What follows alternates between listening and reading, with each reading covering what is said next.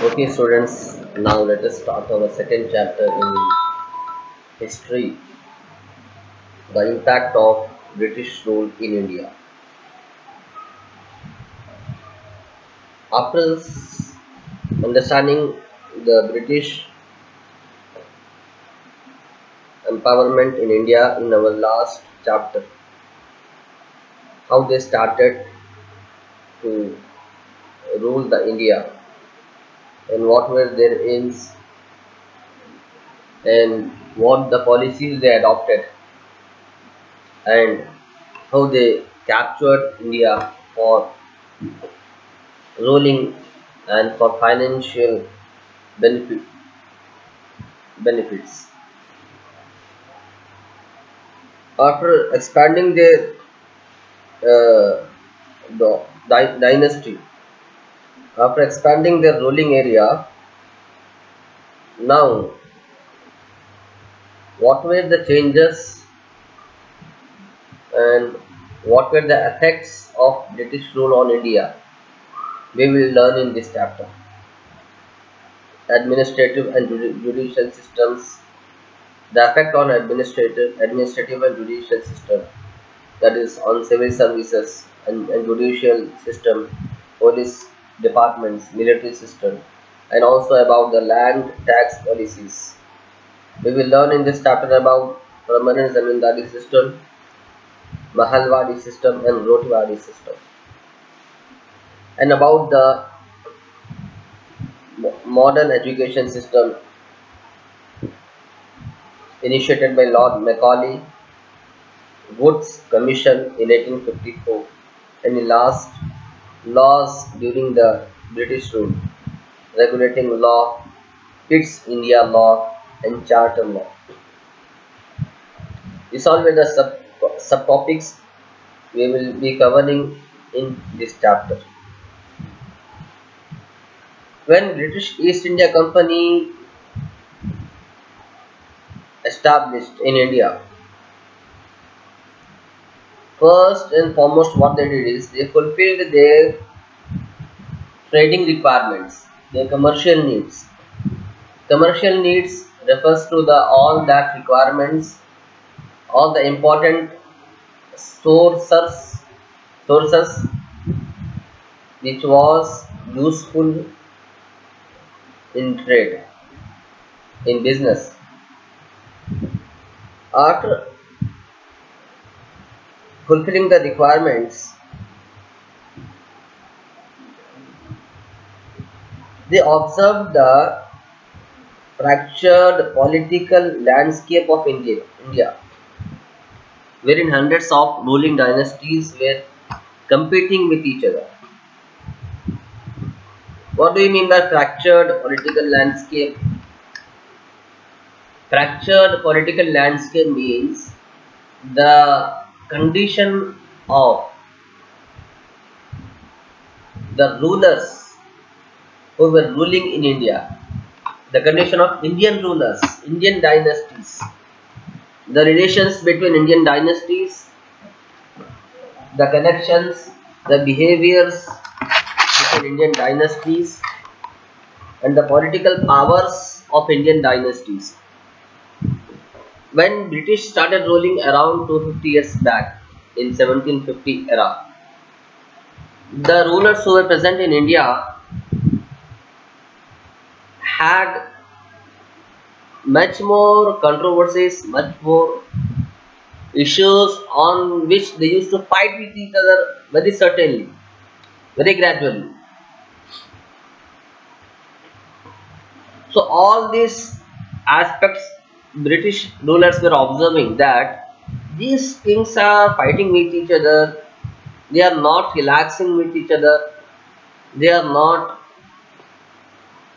uh, convenient with each other, they have some or other problems with each other.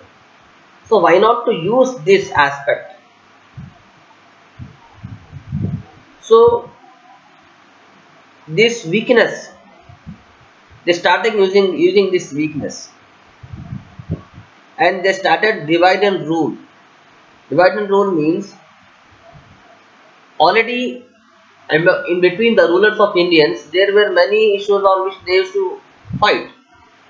These British rulers what they used to do they used to they used to negatively motivate on them. They used to backbite in front of rulers regarding other rulers. They used to express false sentences. They used to say false, they used to say lie in front of rulers with regard to other rulers. What to do? For what reason? To make fighting with each other.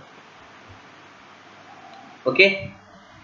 So by this negative activity, the rulers of Indians, Indian rulers started fighting. And slowly, slowly, these British rulers started their domination on major land of India. Okay, started the domination on major land of India. They slowly started capturing all Indian Indian land, and they and and very soon, in couple of decades, in very 10 to 20 years, they captured all over India. They had their domination they had their, their rule, they had their control on all over India. By applying, adopting many negative ideas, many bad routes, they started capturing India and they were and they were succeeded. And because British now India was completely under British control the India was devoid of one nation concept that means British implemented one nation concept and was scattered into various kingdoms. The British integrated the whole of India under their control. Under their under one administrative and political structure. Education was under their control, court was under their control, land taxes were under their control, import and export business was, was under their control, the law system was under their control. Everything they dominated and they started ruling according to their constitution and according to their method. and how they started ruling let us see step by step first of all they started administrative service and judicial system first of all they started administration and judicial system in administration very first step they took was starting civil services. Okay? Civil services. Lord Cornwallis introduced the administration of civil services, the system of appointing employees for the purpose of trade. Okay, the system of keeping the people on the job for the purpose of trade was done under the control of East India Company because East India Company was the center of trade during the uh, uh, British during British era.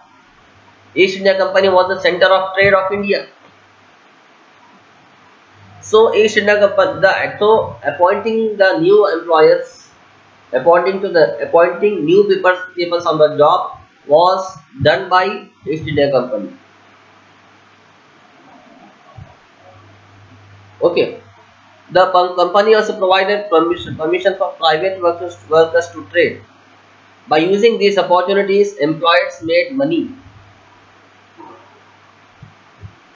Okay. By using these opportunities, as they appointed in East India Company, by using these opportunity, the employers started making money by getting corrupted. The employers started taking corruption and the employers started the working by illegal means, by illegal method